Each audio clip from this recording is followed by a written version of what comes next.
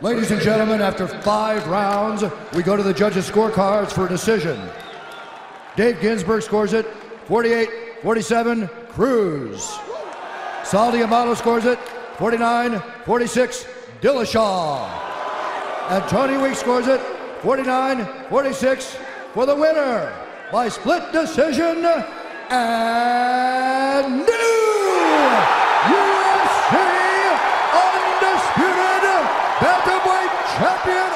world, Dominick the Dominator Cruz.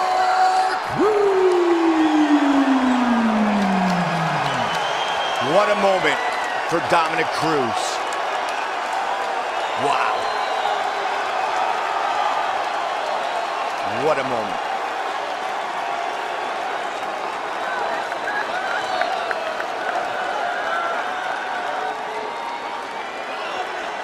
TJ Dillashaw, obvious disappointment. Man, they both brought it though. What a fight. I'm here with the winner, Dominick Cruz. What an odyssey you've been on. Is there anybody who's had their resolve tested, their will tested, more than you with your series of injuries to go through all that and here and new? How does this feel? I'm sharing this with you guys. Thank you so much for the support, the fans. I've never felt the love like I have for this one, guys. I'm here with you guys. Thank you so much. Boston, everybody, but honestly, nobody's retiring me except for me. I've been through too much. This was a really fun fight to call. Was there anything surprising about it?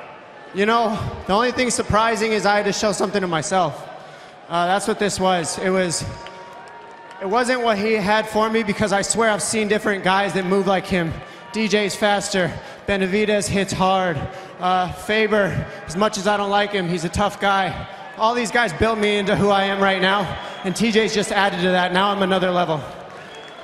Was there any feeling at all from the time you've had off? Was there any feeling of octagon rust? Was there any feeling where you had to get comfortable in there again? No, I tried to explain there's no such thing as rust. How many times have I said that? I've said that to all my critics. I've said that to everybody. Rust does not exist unless you don't train hard enough. And I've trained my butt off. I tore Eric Del over here. Without him, I wouldn't be here today. My teammates at Alliance Training Center, Danny Martinez, Wilson Hayes, Ross Pearson, Nick Piedmont, Jimmy Harbison, Daryl, Coach Miguel. I mean, the list goes on with the people that I've had in my corner for this. That that's why I'm here. I mean, all the supporters, my mom. Without the support, they brought me up at my weakest times. I wouldn't be here right now. And I thank the good Lord above for the power and the strength to get through this. One of the things that was noticeable is at the end of the fight, you started really limping at the end. When, when the fight was over, you, you were playing your cards really well while the fight was going on, but how badly damaged was that left leg? You know, I don't want to talk about things that I came in with because it's stupid, you know, so I'm not going to talk about it. But I, I have, you know, some problems with my left foot that I came in with, but I had to tough it out. It just got really bad in the fifth round, is what happened. It just finally had enough. So it wasn't the leg kicks, it was a previous injury. Correct. It was my foot, not my not the leg kicks. I mean, he was kicking my leg, I felt it, but it was really it was really my foot. My foot's torn in half right now. What you did tonight is nothing short of incredible, and no one really has ever done it before. No one has been tested with the kind of injuries that you've been tested with, and to see you come back and win this fight has just been nothing short of amazing. Congratulations. It was an honor and a pleasure to call your fight. Thanks, DC, for believing in me. Thanks, Brian Stann, Kenny Florian. Quick copying and pasting, man. Dominick Cruz, ladies and gentlemen.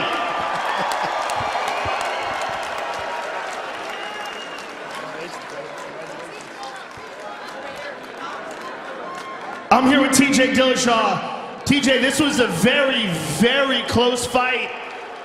A lot of people booed when the decision was announced. A lot of people cheered. When you heard that one judge had scored the fight for Dominick Cruz, what was the thought that went through your mind? Very disappointed, man. I thought I had that fight. I thought I was the aggressor. I thought I pushed the pace. I scored the bigger shots. You know, it's my fault, man. I left in the hands. You know, it's unfortunate. That's the way it is. Did you feel at the end of the fight that it was a close fight? Did you feel like it was possible the decision was in jeopardy? I felt after the last two rounds I won pretty decisively. I feel like I had the fight won. You know, I know it was close. Every time I got back to the corner, I was asking, you know, how, how that round went. But uh, you know, I felt I won that fight. I want to do it again, man. It's uh, props to Dominick Cruz for coming back for what he's done, man. You know, even though I wasn't a fan of his antics this whole entire camp, congratulations to him. You know. You knew coming into this fight that Dominick has this spectacular footwork and that he's notoriously difficult to hit. Was it surprising when you were inside the octagon with him? I expected to miss some shots. You know, it's my fault for not following up when I missed. You know, I missed a big one. Kind of stayed there and watched a little bit when I should have. I should have continued to follow it up. You know, it's my fault. But uh, man, it's a tough one to take. I feel like I won that fight. You know. It was a very, very close fight. It was a great fight to watch, and I'm sure you'll be back and better than ever. Ladies and gentlemen, TJ Dillashaw.